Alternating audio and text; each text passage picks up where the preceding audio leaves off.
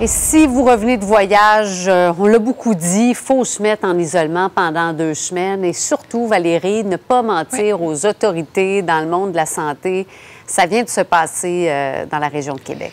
Oui, c'est vraiment important de le rappeler, Cindy. Il faut dire la vérité. C'est une question euh, de responsabilité mhm, citoyenne. et il y a cet employé de l'hôpital de l'Enfant Jésus de Québec euh, qui euh, m'a raconté ce qui s'est passé de son côté mardi. Il y avait donc cette opération qui était prévue sur une personne d'un certain âge. Opération, Cindy, je tiens à préciser, qui était jugée non urgente. Et donc, est-ce que cette personne, cette patiente revenait de voyage?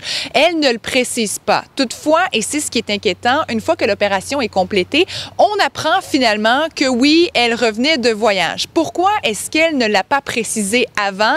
Est-ce qu'elle voulait éviter l'isolement de deux semaines? Voulait-elle éviter de reporter cette opération à plus tard? Opération qui, je le répète, était jugée non urgente. Eh bien, c'est l'avis de cet employé à qui j'ai parlé qui souhaite dénoncer la situation d'abord pour que cette situation, cette histoire ne se reproduise plus, mais également affirme que cette personne a mis à risque la la santé de l'équipe médicale, mais également des autres patients du côté de l'hôpital. On peut l'entendre.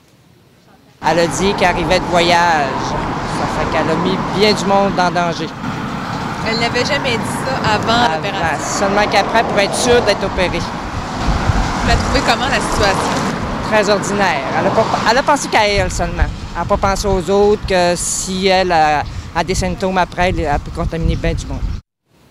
Au risque de se répéter, son message est clair. C'est le même que le message du gouvernement. Si vous revenez de voyage, vous restez à la maison. Si vous avez des symptômes de la COVID-19, vous vous isolez pendant deux semaines.